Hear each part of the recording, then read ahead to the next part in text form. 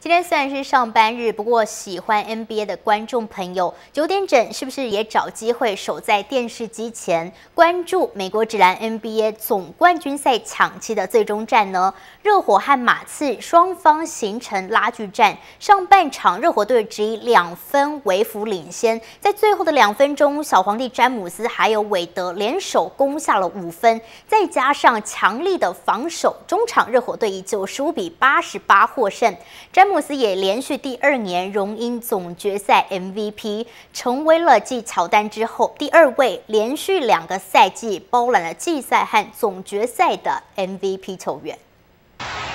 There are some guys like Dwayne Wade who looks energetic. 双方场热火队就展现夺冠决心，小皇帝詹姆士攻下十五分。闪电侠魏德也展现绝佳状态，进账十四分。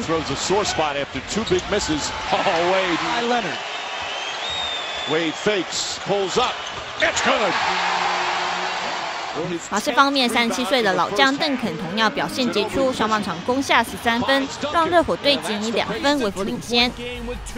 双方持续拉锯，热火队仅仅保持微幅领先。最后两分钟比赛，靠着全攻防守以及詹姆斯、魏德联手攻进五分，中场热火队以九十五比八十八拔下胜利。而小皇帝詹姆斯在全场砍下三十七分、十二篮板、四助攻，也让他再度拿下总冠军赛的 MVP。新唐亚太电视台湾台北整理报道。